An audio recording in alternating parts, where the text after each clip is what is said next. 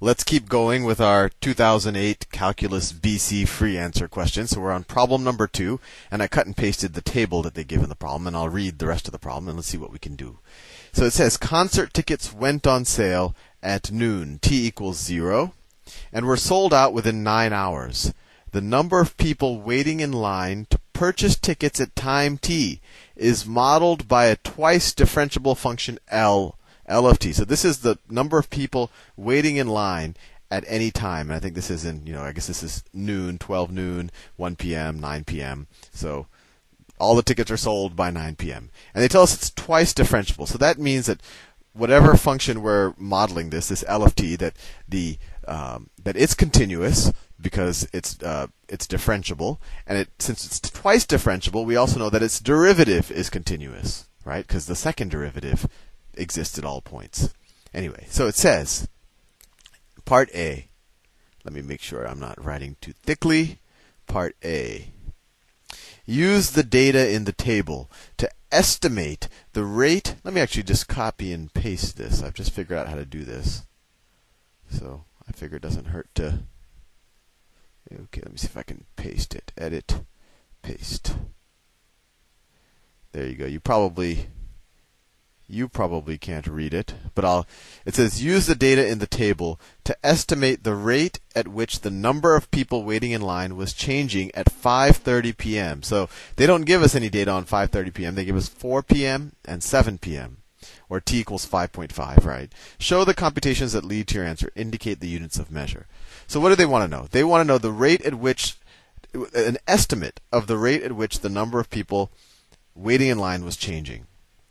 So they don't give us they don't give us a you know a continuous function definition. They just give us a bunch of sample points of this function L of t. So the best estimate I can do of the rate at which the, this L of t is changing at time 5.5 and 5.5 is in between these two is to just figure out the average rate of change between time 4 and time 7. So how do we figure that out? Well, the average rate of change is just the slope.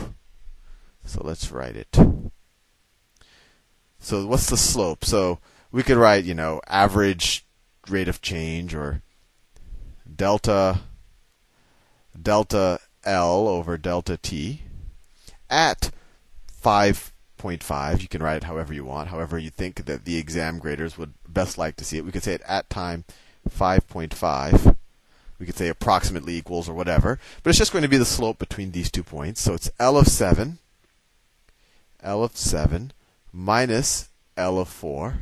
All of that over 7 over 4. Rise over run, or change in the value of the function divided by change in the independent variable. L of 7 is 154. They give us that. L of 4 is 126. 126. And we divide it by 7 minus 4. So that equals what? 54 minus 126 is 20 let's see, if I have 24, 24 plus 26 is 50, so it's equal to 28, right?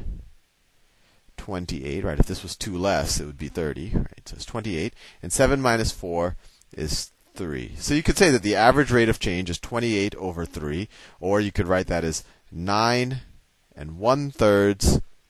And they want us to use the units of measure, indicates units of measure. So the numerator, this is people, right? People. People.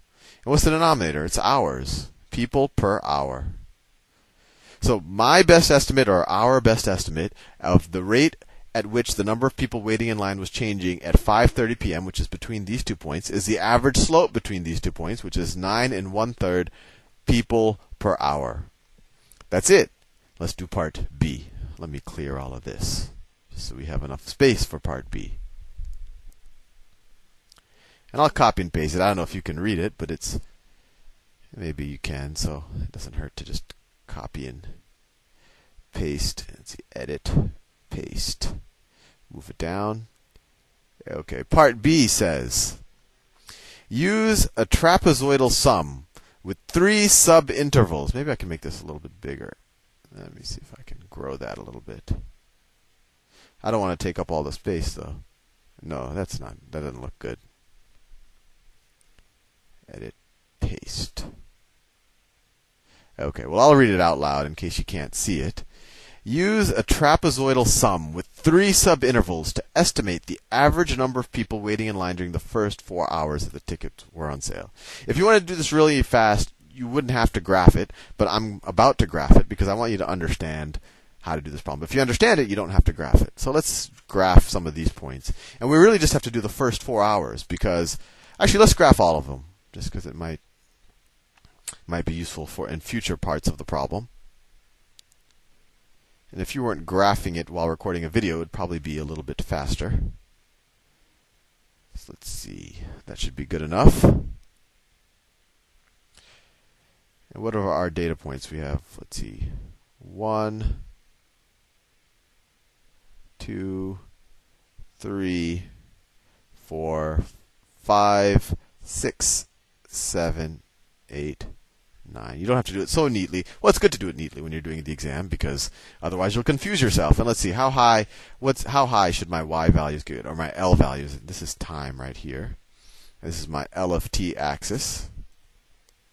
Well, it goes up to about let's see 176 is a high point at least on the data we have. So let's say this is one let's say this is 200. 200 so halfway up would be let's see this would be 100 this would be 150. This would be 50. Well, I don't know what that sound was from, but let's keep going forward. So let's let's plot the points. At t equals 0, there are 120 people in line. That's about right there. At t equals 1, 156. Uh, we're just approximating. It's about right there. At t equals 3, they skipped 2. At t equals 3, it's 176 people in line. So that's going to be right about there. Just approximating it t equals 4, we have 126 people in line. So a little bit more than at t equals 0. 126 people in line. t equals 7, we have 150 people in line. It's right about there. Uh, t equals 8, we have 80. That's a little bit about a little right right there. And t equals 9, everyone the line is gone. Everyone has gotten their tickets or maybe they got sold out. And let's connect those points. Connect the dots. So from here to there, and from there to there, there to there, there to there, almost done. Okay, so we've at least plotted the sample points and connected them with lines. We know that the real L of t, whatever we use to approximate it, it's not going to have these sharp edges because it's differentiable. It's actually twice differentiable, so it's actually going to be a smoother curve right? Because we can take the derivative at any point. If this was the actual function, you wouldn't be able to take a derivative at this point because there it, it just goes from you know there's a positive slope here, and then it immediately switches to a negative slope, like the absolute value function. So you actually wouldn't be able to take the derivative at that point. But anyway, back to the problem.